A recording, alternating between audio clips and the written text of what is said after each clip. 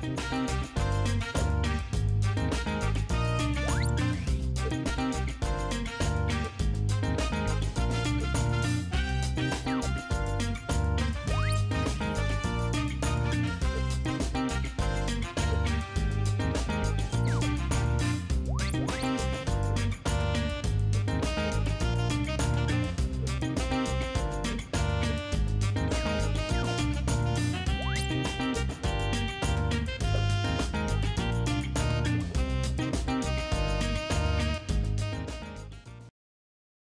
everyone. Um, I'm Tash. Um, it's nice to be here today. Uh, also, by the way, in case you hadn't noticed, I have a New Zealand accent, and sometimes I've heard a tendency to speak a little quickly. So if I am being a bit too fast or mumbling or something, just yell out. Um, so, hey, um, I am a Kiwi, clearly, and I work for a company called Loyalty New Zealand, funnily enough, based in New Zealand. And we run New Zealand's largest coalition loyalty program, Flybuys. So Flybuys is a pretty basic proposition. You swipe your Flybuys card at any of our associated partners. Um, so that might be grocery stores, retail shops, household electricity insurance, um, and you earn some Flybuys points, which then you can use to redeem for rewards. Uh, and our program has been around since 1996, which I'm sure some of you will fondly remember as the year these Spice Girls came out with their hit single, Wannabe. Um, or you may have been a little more like me and looked a bit like this. Unfortunately, that's not actually a photo of myself because finding photos of yourself as a one-year-old is a lot harder than random babies on the internet. Who'd have thought? So our program is currently, it's a bit old. Uh, it's old enough to drink anywhere in the world, including America. Um, but that does mean that we have some older technology in the mix. Uh, and it can be surprisingly hard to move on from that. Um, so we've had a bit of older technology, but we've also had a few iterations on some of our core services. But it can be really hard to kind of justify rewriting a system, switching to new technology, or even investing in a refactor when your systems are still fulfilling a business need. So we had some big projects a few years back to kind of move to some cloud-based platform, um, but this isn't actually our story of moving from a 2003 SQL Server instance to Ruby microservices in AWS. This is more about our journey from attempting to move away from a bespoke API framework written in Ruby to using Elixir applications to run our transactional platform. So a long time ago, in 2015, Loyalty New Zealand decided to build a new transactional system for points processing. And we wanted something in the cloud using skill sets we kind of already had in the team that could be developed in parallel and iterated on quickly. So it was 2015. Microservices were very popular and we were all in. So the only question that we had then was what do we build our microservices in? So for us, we already had a bunch of Rails apps, so Ruby seemed like quite a logical choice. Uh, however, the frameworks that we had for Ruby microservices at the time weren't really something we wanted to go with. We didn't want the overhead of Rails or something, things like Grape we weren't keen on, so we built our own.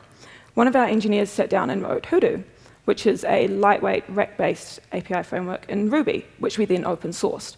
And we built out what we called Loyalty Cloud Transactional as a series of microservices in Hoodoo. And this worked pretty well for a few years until we started coming across a few problems. Oh, it's not going to play my little GIF thing. That's right, came across a few little problems. Um, basically, they boil down to the fact that we're a small team. We have currently around eight developers and around 10 times as many applications in production to maintain and develop. And maintaining an open source framework on top of all of that was always going to be difficult. That difficulty was compounded by the next problem. Hoodoo was developed almost entirely by a single engineer. And this had many great aspects because was, the code was very consistent throughout it. Um, but it also left us with the fact that when they leave, and they did leave, supporting this framework was going to become even more difficult.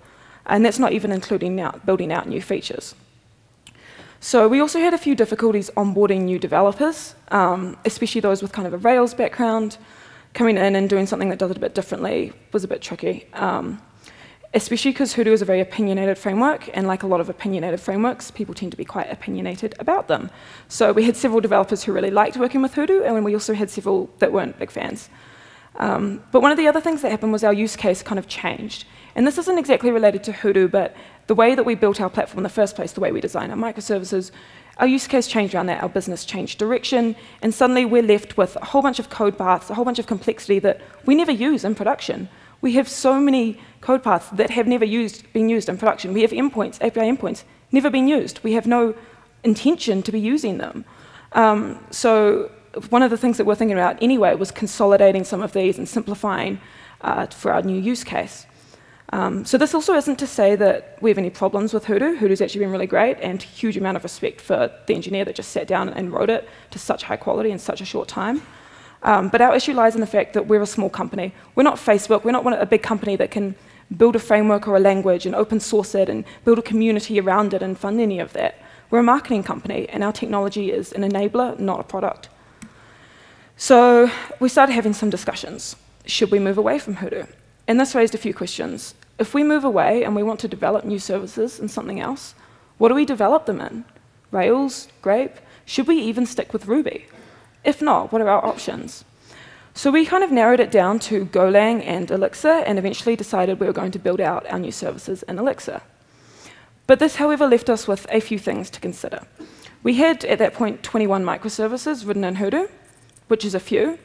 As nice as it might have been to uh, rewrite some of those in Elixir, um, we weren't really going to be able to do that at the start. So we knew that for the time being, any new services we built were going to have to play ball with our existing ones. So this means one of our key aims was consistency. And this quote, I think, is as applicable to parenting as it is to APIs. Our children are counting on us to provide two things consistency and structure. Children need parents who say what they mean, mean what they say, and do what they say they're going to do. Our API callers are our children. We need, they need consistency. They need to know what they're going to get back and what to do with it. And they need to, yeah. So there were two kind of main areas of consistency that we had to consider. Consistency for our API callers, and that's both internal applications and external integrations, and also consistency for us as developers. What do we need to be consistent in? So consistency for them, apart from the obvious of they need to get their data back in the same way and send data to us in the same way, they also need a consistency around authentication. And they also need a consistency around getting sensible and consistent errors back. They need to know whether they're calling our API wrong, whether there's a network issue or something and they should retry, or whether there's something wrong in our application. And they need to do this in the same way that we do for our current existing services. And what did consistency for us look like? Mostly this was small stuff around logging, our monitoring, our tracing, um, those sorts of things. So that was pretty straightforward. So with our session management, one of the things we need to keep consistency was our sessions for our API callers. Uh, some of our original discussions involved rehauling our session management and our authentication. That would have been quite nice in some ways, but it's very baked into Hoodoo, and splitting that out would have been very disruptive and would actually it kind of falls into the fact that we don't update that code very often. We don't touch our authentication or our session management code very, very often. So it's not really the kind of biggest impact for us to leave it as it is. But it did leave us with a slight issue in that we ended up basically having to rewrite a bunch of the session handling stuff that we had done in Hoodoo into Elixir and use that in our shared library. And that kind of sucks a little bit, to be honest. We have code duplication, um, if we want to make changes to the way we do any of it, we have two places to do it in. Um, but the nice thing that was that we did have was that it was really easy for us in many ways because there's no change to our callers or anything. There's no real change to anything. We just needed to write a bit of code to pull our sessions out of memcached, chuck them back up. It does leave us with the annoying issue that if we want to develop another service in Go, for example, uh, we're going to have to rewrite that as well. So when building out something new, considering how to make it as language agnostic as possible is actually very useful. Uh, because different languages have different strengths and weaknesses, and being in a position where you can just pick up the best tool for the job would be a great position to be in. But there's always a trade-off, and we do often have to be pragmatic, and so that was what we had to do. With our error responses, we came into a similar thing. So these are kind of the error responses that Hoodoo gives back, and it has a pretty strict set of kind of message and code mappings um, that it sends back to our clients. So we kind of had to do the same thing here that we did with our session, where we basically had to kind of copy that out into our shared library. And this, again, is not great. We have code duplication, and we're getting one step closer to the one thing we don't want to do, which is just rewriting Hoodoo and Elixir. That's not what we're here for. Um, so looking back, I would have preferred to do something a bit more language agnostic, perhaps pulling out our error descriptor mapping into a JSON schema or something, and calling that from both places uh, because leaving the thinnest possible layer around accessing that sort of a mapping within our shared library would have been a lot better. But hey, win some, we lose some.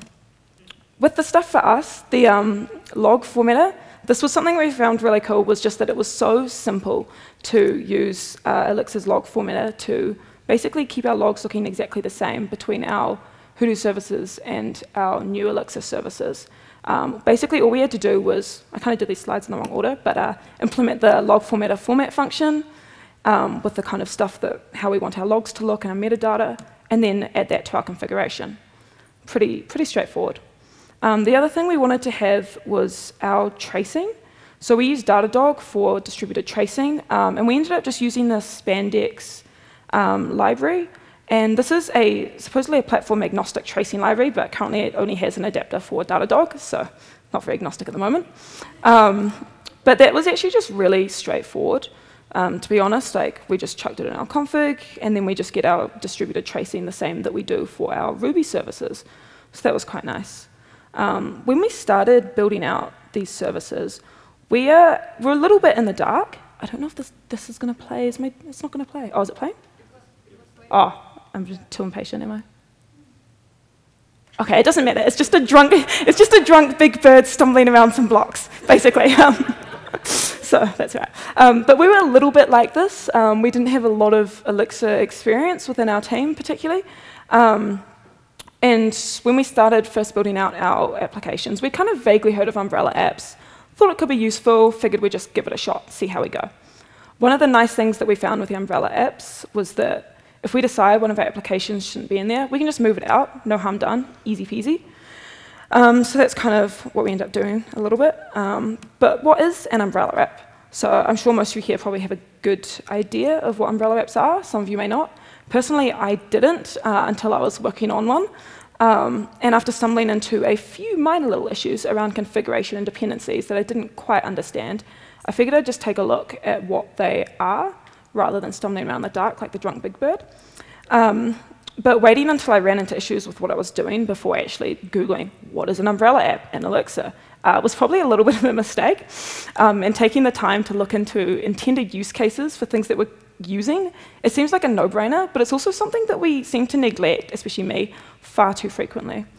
Um, and having that fundamental understanding of the purpose of something that we're going to use is super important. Why was it created? What problem is it trying to solve? We should understand how a hammer is intended to be used before we try to build a house. So what is an umbrella app? It's basically just kind of a way of organizing your code and loosely coupled components within a single code repository without having to mess around with Git submodules or any of that. Um, each application under the kind of grand umbrella app is started under its own supervisor, so they can act as independent services, but they also have a shared, a default shared set of dependencies and configuration. So you can kind of see that in the structure. You have your umbrella app, and then you've got your two kind of sub apps beneath it. Um, so we can easily specify applications within our umbrella as dependencies for other applications within the umbrella um, to allow them to use them. And to be honest, this isn't really particularly differently from including another Elixir application as a path dependency. Um, but the main benefit that we kind of get is we're able to consolidate our code in a single repository. We're able to run the code together, and it, we can write quite meaningful integration tests. So, but when we initially started with Umbrella apps, our intention was kind of to develop all of our Elixir applications was kind of a vague idea. We could develop all of them under a single LC Elixir services umbrella. Uh, however, we realized that was not what we wanted to do at all. That was not going to work. Um, and so we have ended up moving out some of our applications into their own uh, repos while keeping some together in a single umbrella that makes sense, that have a semantic relationship. Um, so the kind of, I guess it's kind of a logical grouping that I see in some ways, um, because basically what we want to be doing is kind of separating out, like, the way, sorry, what I find um, is quite useful about umbrellas is being able to keep code together, um, but also it's helped us kind of figure out kind of a logical separation of concerns. Like, do these applications really belong together? Are they actually one single application, or are they really separate? Where do the boundaries lie? Um, so here, like, consider we have a set of financial resources. We might have something like purchases, which kind of, I know you spend some money at a shop, you have a purchase that records that. Um, and then you might have balances, so each account has a, a total balance, how many points you have. Um, you might have immutable ledgers that track changes to your balances, so plus five, minus three. Uh, you might have expiries, and which you send via API, and they expire points from an account, so expire 10 points from this account because they're too old. Uh, and we have forecast expiries that might present a view of how many points are due to expire for an account over the next six months. So in January, you're going to expire four points. So it makes sense to me to kind of group these together. They're financially related. We want to kind of transactionally persist our purchases to make the change to our balance, create the resulting record of that change, and we want to kind of a similar thing for our expiries. And every time we call our expiry forecast, we want to say, okay, well, what's happened since the last time that you had a forecast? What ledgers do I need to adjust for now to give you an accurate representation? So it would be logical to me to kind of put these under kind of a single umbrella, but split them out. So you have your, your calculations and your balances, your ledgers, your currency stuff, that all sits under financial. You have things like purchases and refunds, they're part of your purchase. And you have expiry and your forecast group together. So here we're kind of keeping our code together, and we can easily kind of test quite a full flow. But it's quite the way the one thing I like about this kind of route rather than having it in a single application and just kind of grouping the modules is that you have a more definite boundary line. We can have our financial as a dependency for purchase and expiry, but within your purchase, you can't access anything from your expiry. You shouldn't be able to because they're not, they're not related in that way, but they do have a kind of shared dependency on the financial stuff. Um, so we found that that kind of worked, worked okay for us. Um, but yeah, having basically using them as a way to figure out a logical separation of concerns worked for us, and it's, it's not going to work for everything. Um, but should you rewrite an existing piece of software? It's a question.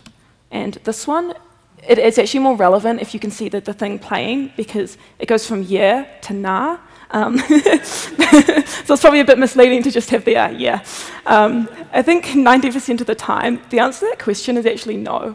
However tempting it is to rewrite what an existing application that you know is maybe a bit old, a bit messy, a bit gross, don't want to touch it. Often it's fulfilling business needs, and often it's not worth doing it. Um, yeah, because often one of the best ways to rewrite a complex system is to kind of isolate functionality into sensible, loosely coupled components, build these out piece by piece into the new system until you can decommission what was there. Uh, but it is incredibly easy to not quite finish that and to get to the point where you still have 10% left in your old one, and it's just too hard to get it out, and it's still fulfilling business needs, and it just takes a really long time to kind of cut over. And by the time that you get to the point where you've pulled that 10% out and you're ready to move on, what you've built is now old. Tech has moved on, times have changed, time for a rewrite. So, so there are a few reasons that we might not want to rewrite an existing application. Um, one of those things, it's going to take time, and it's going to take money, and it is going to take a lot more of both of those things than you will ever anticipate, almost invariably. One of the other things is that it's going to be hard, and I don't mean this from a technical difficulty standpoint. I mean that it's not very fun often and that it can be quite demoralizing when your measure for success in the code that you're writing is that, oh, it does what the other thing did before and not worse. Great, cool, fun. Um, it's going to impact delivery of new features, both because you're taking time and like you're taking resource away from developing new features. But the other thing that is also happening is that if you have these two systems that you kind of have in parallel where you're building out a new one, but you're still actively developing features on the old one, if you develop a new feature there, you're going to kind of have to do it in both places are you? So it's not always a great thing there. Um, it might not get finished. I'm sure most of you here will probably have known of some sort of a rewrite or even a major refactor that just gets abandoned halfway through. Happens a lot. Um, and also, it might not be an improvement on what is currently there. And this is something that I think people sometimes forget a little bit, is that just because the code that you're writing is newer does not mean that it's better. Uh, there are many, some of the, th sometimes you might look back and you look back at code you wrote a month ago and you go, oh, hey, that was terrible. I can't believe I wrote such junk. But then sometimes you look back at code you wrote a month ago and go, wow, how did I do that? That was a really smart solution. Hmm. Um, so what we, what we, you know, even though we've learned a lot, and it might not be code that we've written that we're rewriting, other people might have a lot more experience, um, or they might have, what they've written before might be addressing problems we're not considering now. But there are a few things that we, reasons that we, we might want to rewrite. Um, some of these things kind of come up a bit. Obviously, every single case is very different and very specific to a set of circumstances. Um, whether the question of should you rewrite, should you not, is dependent completely on that. But there often seem to come up a few common reasons. Um, things like the code is a mess, the application is slow, um, it's using old legacy technology or self-maintained technology. Um, it costs a lot of money, so this might be money in licensing costs, high infrastructure costs. Um, again, like security stuff, so if it's often on legacy technology, it might be unsupported, there might be a lot of security vulnerabilities there. Um, and change in requirements.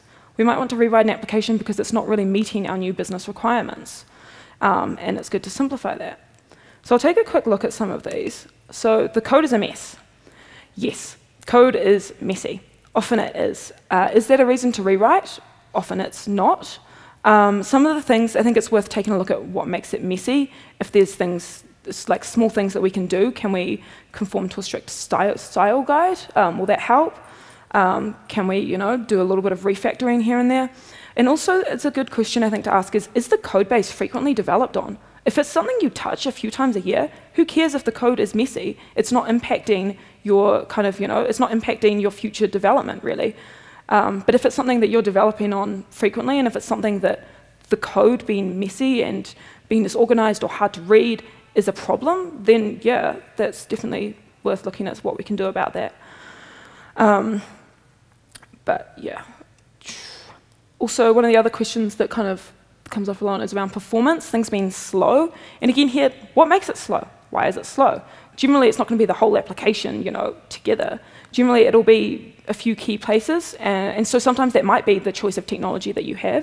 Sometimes that, you know, it might be really, really slow to start up. It might be slow at performing particular things. It might be bad at concurrency. Um, but there's also some other things that we should be looking at. We should be looking at, you know, like database lookups and indexing. We should be looking at what our external HTTP calls are. And it's like things like I find distributed tracing is super helpful to often have a look at, you know, at what points is our application really slow at. Um, and again, just because the code you're writing is newer doesn't mean necessarily that it's better, that it's more performant. You need to be focusing actually on those things um, a little bit. Um, this one's a tricky one. So if it's using unmaintained or self-maintained technology, I think this can often be a bit of a reason, and this was kind of a reason for us. Um, in some cases, it's good to think about, is it critical? Does it get modified often? Because again, maybe it's not worth it. Is it hard to onboard new developers? And this is, again, one that it's, we need, we need our developers to get up to speed quickly, often, and if it's seriously impacting that, yeah, possible to look at, you know, rewriting it. Um, but this is also kind of tied in a little bit to the next two things. Is it causing difficulties developing new features? Is the lack of maintainability, meaning that every time you want a new small feature, you then have to build something into the language or the framework or whatever you're using that you've built yourself or isn't maintained anymore? Um, but also, is it impacting developer happiness? And this is something that I think is actually really important because when developers are not happy with the, with the code bases that they're working on, they might leave. And it might be hard to find developers to come in. And especially if what you're working on is something that you have built out yourself. Uh, again, small company. We're not Facebook or one of those things. We can't build a language or a framework and open source it and get the community around and have it, you know, something that becomes a standard, you know? We can't get GraphQL out of us. Um, so, there's, so for us, um, one of the things there is that, yeah, like people it will be harmful for their careers in some ways if what they're working on is very domain specific. If they spend, you know, three years working in a framework that is not used anywhere else, people don't always want to do that because they feel that they're not developing their skills in an area they want to do it in, or not, it's not going to be marketable, um, and it might not be something that they enjoy doing. Um, and it's that is honestly, I think, quite an important factor that maybe isn't considered as often as it should be um, because developers who are engaged, who are happy, who are excited about what they're working on, they're better developers. Uh, money, yeah. Uh, if you're paying high infrastructure costs, legacy, like licensing fees for Oracle or whatever, yeah, move off. Um, oh, sorry. Oh, yeah. Where are we? Oh, see, now it goes. Don't know what was doing wrong. Okay, all right. I thought I, I thought I clicked it. Oh, maybe in quick succession. Who knows? Um, so one of the other things is business requirements have changed. And to me, I think this is actually a really good reason to rewrite an application because when it's because does the current architecture, does the language, does the tool, does it make sense for your new use case? Because if it doesn't, then I think it's definitely worth looking at a rewrite um, so that you can get something a lot simpler and that kind of actually meets your users' needs. Um, so what we built, for, for the, so this was kind of us a little bit. What we built four years ago it's been used in a way that was unintended at the time. Our business changed direction. Some of our kind of architecture doesn't really make sense anymore. So for us, kind of simplifying that down a lot is actually going to be really helpful. Um, and the time that it takes to kind of rewrite some of those components is, I think, worth it. Um, yeah, so this was kind of related to the developer happiness one that I kind of mentioned a little before. We want to explore new technology. Um, and having a chance to do that as well with something that we already have in production is kind of actually useful a little bit because you know we have something to fall back on. If we build out something new and we kind of get it a bit wrong, it's okay. We've got something that works. Um, but this is, yeah, again, really related to developer happiness and stuff, and also around finding developers, because if you have like, oh, I don't know, let's say we built our system in, oh, I'm going to make something up now, I don't know, Haskell or something. I don't know a single Haskell developer in my city. Couldn't find one if you tried. Um, you need like appealing to a wide range of developers is good. You don't want to, I guess, restrict yourself with your choices of technology, particularly um, ones that people don't want to work with. That's not going to help their career progression. That's just going to make finding developers a lot harder, and it is already hard enough to find great developers. Um, so how do we rewrite an existing piece of software if we want to do that? How do we do this well?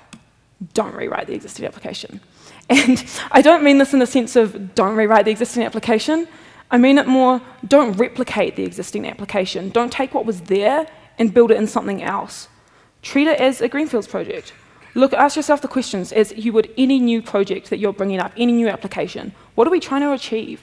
What are the business rules? What is the purpose of this application? And what are our users' needs for it?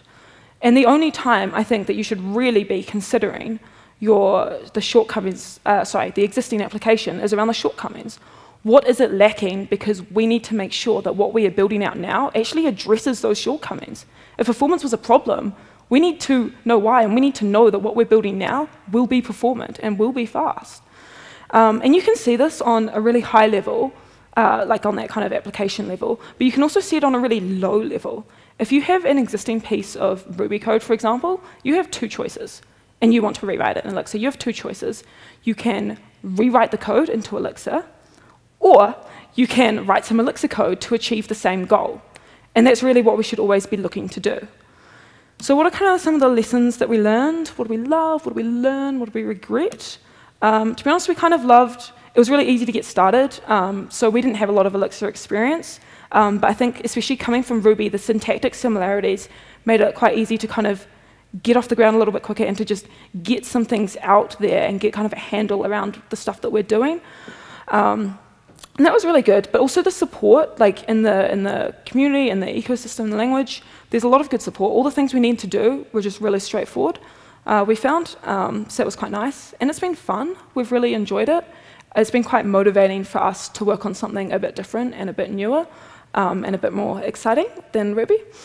Um, some of the things we learned, um, we started out in a bit of a bit of a weird way when we kind of started this a little bit, and we ended up with a few different people writing different applications in Elixir uh, at the same time without probably enough collaboration. And that meant we kind of went off in a few different direct directions, and our code is not very consistent. So that's something we're having to look at now to kind of bring that back together a bit. How do we want our Elixir code to look? How do we make what we've written already kind of conform a little bit more? You know, the way we're doing testing in this service, is it aligned with how we're doing it in this other service? Because it should be. So that's kind of what we learned was that we didn't really necessarily handle that so well. We didn't go in with a great strategy for how to do all of this. Um, and we didn't, I guess, plan it out probably as much as we should have. But hey, that's okay. Um, now we've learnt, next time.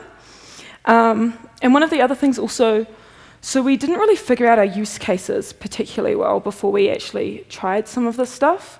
So we kind of just jumped all in with Umbrella apps. We jumped all in with GraphQL.